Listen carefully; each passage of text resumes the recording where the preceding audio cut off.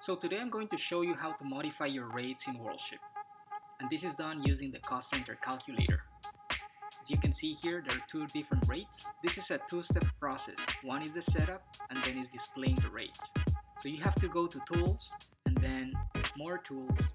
And then there you have to select your account number and go to the services section. You're going to find a whole lot of services. Just make sure you select the appropriate one and take note that there's a difference between the domestic service and international services. And you can modify the rates by a percentage increase or decrease or a dollar amount increase or decrease. As you can see, nothing changed, nothing is displayed. The second step is modifying the shipper editor. Just go to the rating preferences tab and use the drop-down menus to select the cost center calculator, CCC rates. Now take a look at the difference. Take a look in the details.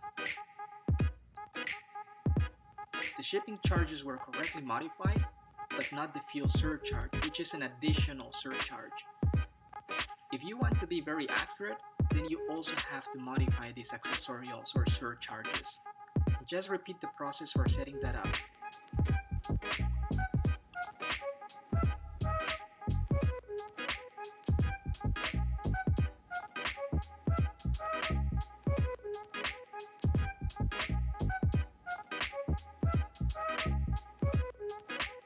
Now as you can see, the fuel surcharge is correctly displayed by a 10% increase. Please subscribe to my channel and like my videos.